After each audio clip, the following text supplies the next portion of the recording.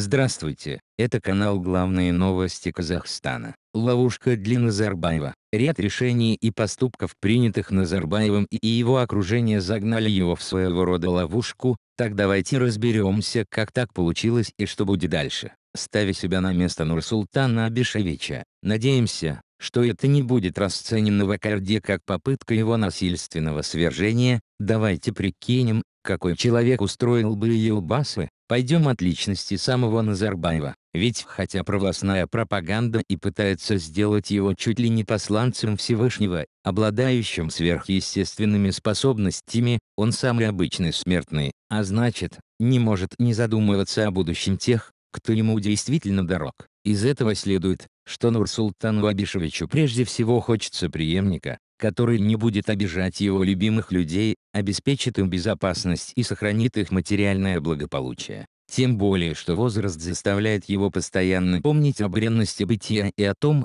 что ничто не вечно под луной. Далее, судя по тому, как Акарда усиленно формирует миф о том, что Назарбаев первостроитель казахстанской государственности, Елбасы очень хочется попасть в историю именно в этом качестве. Другими словами, Политический преемник должен если не сохранить нынешний курс в неприкосновенности, то как минимум не отрицать его, а также признавать историческую роль Нурсултана Абишевича и сохранить Астану как вечный ему памятник. Что касается остальных возможных требований лидера нации к наследнику, то они вторичны. Например, способности преемника руководить государством или обеспечить себе поддержку большей части казахстанской элиты будут цены не сами по себе, а поскольку позволяют решать ключевые задачи гарантирования беспроблемного будущего родным и близким Елбасы и дать положительную оценку его личности в будущем. Теперь посмотрим, есть ли такой человек в окружении лидера нации. Даже беглый взгляд на нынешнее окружение Назарбаева заставляет сделать печальный вывод в нем нет ни одного человека, который мог бы соответствовать двум главным требованиям Елбасы к его политическому наследнику, и не только по своему калибру. Сам ход исторического процесса, архитектура нашей политической системы диктует второму президенту РК необходимость рано или поздно начать пересмотр прошлого и передел собственности. Дело в том, что в Казахстане власть и собственность, власть и капитал, власть и деньги тесно и прямо взаимосвязаны. Причем первое рождает вторые. В прямой пропорции чем больше власти, тем больше и доход.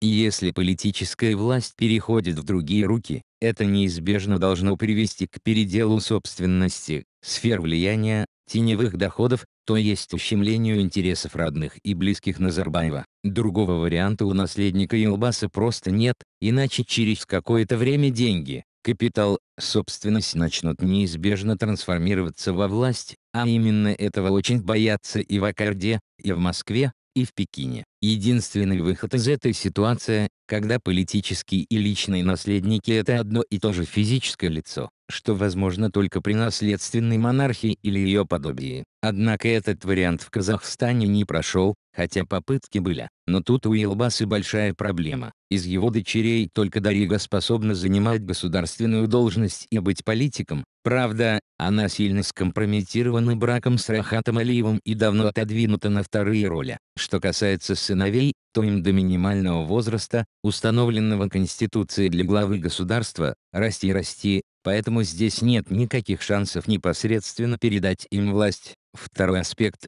который не может не учитывать такой опытный политик, как Назарбаев, это давление обстоятельств. Если социально-экономическая и общественно-политическая ситуация в Казахстане будет ухудшаться, а пока все говорят за это, Следующий президент будет всегда искушаться возможностью возложить ответственность за все плохое на своего предшественника, особенно если его уже не будет в живых. Из этого краткого теоретического размышления вывод только один идеального преемника у Нурсултана Абишевича нет и не будет, зная его привычку никогда не класть яйца в одну корзину, никому не доверяться полностью и всегда перестраховываться. Можно предположить, что Елбасы будет в первую очередь решать стоящие перед ним задачи как человек, а не как лидер нации. В результате буквально через год-два значительная часть казахстанской экономики будет юридически принадлежать неким иностранным компаниям, как офшорным, так и обычным, которые будут находиться под защитой и юрисдикцией государств, где они зарегистрированы.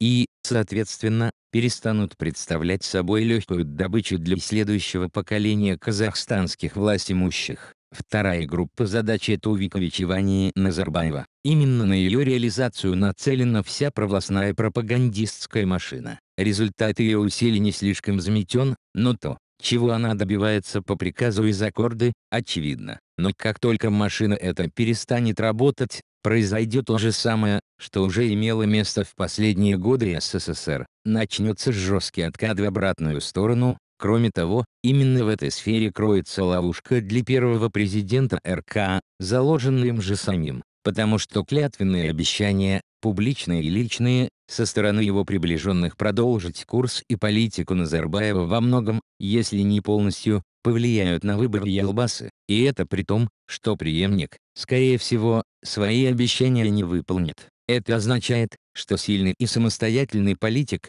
способный круто повернуть государственный руль, Елбасы в качестве преемника не нужен вовсе. Ему нужен человек, который будет прижиматься к Назарбаеву, опираться на него как на фундамент, клясться его именем и курить ему фимиам. Точно так же, как это в свое время делал Иосиф Сталин до тех пор, пока сам не окреп и не начал перестраивать страну на свой лад и по своему вкусу. Третья группа задач – это передача власти. По моему мнению, Назарбаев эту задачу перед собой не ставит вообще, хотя бы по той причине, что это противоречит его жажде власти и натуре, а также пугает психологически, так как наталкивает на мысль, что он может умереть. Таким образом, если Назарбаев проживет заметно больше предсказанного ему Мухтаром Облизовым полугода, то мы обречены на верхушечную политическую реформу, очень похожую на ту, что полтысячелетия назад сделал русский царь Иван IV, когда передал трон татарскому царевичу, а сам сделался отшельником и главой опричнины. И вот тут мы подходим к вопросу, ради которого писался этот материал, а именно,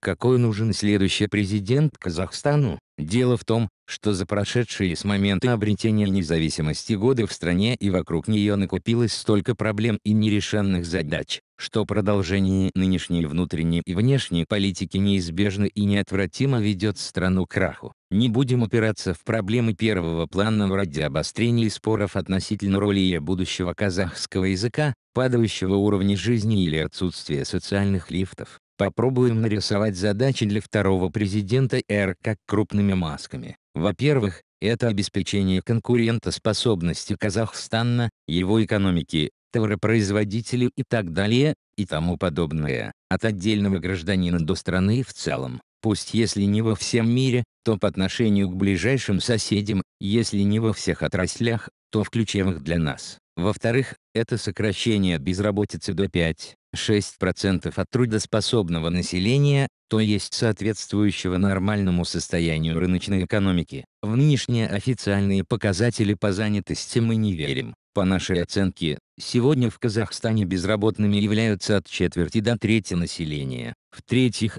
сохранение суверенитета и государственной независимости Казахстана. Последнее, как ни странно, в условиях единого экономического пространства с Россией и уплотняющихся хозяйственных связей с Китаем может стать даже ключевым. В-четвертых, выдвижение и продвижение национальной идеи, способно если не объединить все население страны, то влечь за собой большую часть тех граждан, от которых что-то зависит в этой стране. Потому что три остальные задачи не могут быть решены без этого. Теперь получается, что в Казахстане не даже шансов появления национального лидера, способного организовать достижение целей национального значения в 21 веке. Нынешняя костеневшая политическая система может только делегировать из своих рядов новых елбасы, каждый из которых будет хуже прежнего, как это уже случилось в Советском Союзе. И, похоже, стране нужен не новый лидер, а новая система. Судя по тому, как Акарда усиленно формирует миф о том, что Назарбаев – первостроитель казахстанской государственности, Елбасы очень хочется попасть в историю именно в этом качестве. Другими словами, политический преемник должен если не сохранить нынешний курс в неприкосновенности, то как минимум не отрицать его, а также признавать историческую роль Нурсултана Абишевича и сохранить Астану как вечный ему памятник. А что думаете вы по этому поводу? Напишите в комментариях. Также подписывайтесь на канал и ставьте лайки.